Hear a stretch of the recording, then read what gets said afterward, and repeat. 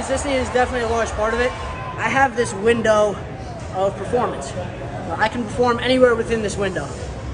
And I think what I've really done this year is just bring up this bottom one. So I'm not really sure I got much better, but I'm just much more consistently wrestling at my best. Goal is to just go out and perform exceptionally every single time. Obviously that's unattainable. It's a, you know, a dream, but that's my, what I try to do.